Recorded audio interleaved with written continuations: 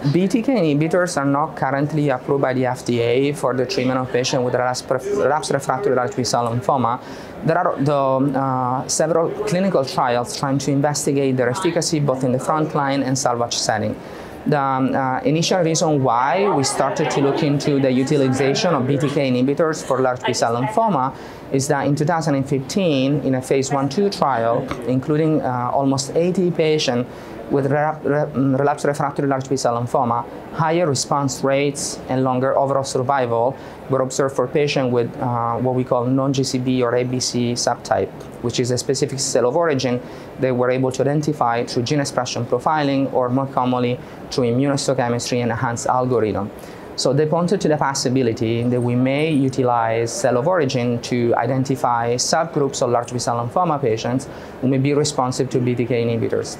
As a next step, ibrutinib in that case was combined with R-CHOP in the frontline setting in a very large randomized trial called the Phoenix trial where R-CHOP plus ibrutinib was compared to R-CHOP plus placebo. Unfortunately, the trial was negative the primary endpoint was represented by event-free survival. However, in a post-hoc pre-planned analysis limited to patients who had non-GCB subtype and were younger than 60, so where treatment delivery was easier because of younger age, the primary endpoint was met. This has uh, brought to the development of multiple clinical trials that are now looking into the combination of R-CHOP with safer BTK inhibitors such as acalabrutinib. Results from the phase 1-2 trial, the ACCEPT trial, have already read out and the combination seems to be safe. There's an ongoing larger randomized phase 2 trial, the REMoDL-A, and also a larger randomized phase 3 trial where 600 patients will be randomized with a ratio 1 to 1 to receiving R-CHOP plus Acala or R-CHOP plus placebo. This is the ESCALADE trial. And we're also looking into the combination of Acala with uh, RICE, so platinum-based salvage chemoimmunotherapy in the relapsed refractory setting.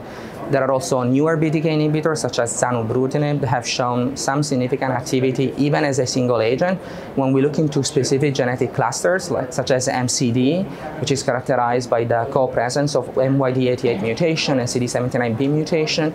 The, we hope that as these trials will read out in the near future, we will finally see, thanks to also the utilization of genetic aberrations and predictive biomarkers, we'll see more of an integration of BTK inhibitors along with chemoimmunotherapy for patients with large B-cell lymphoma.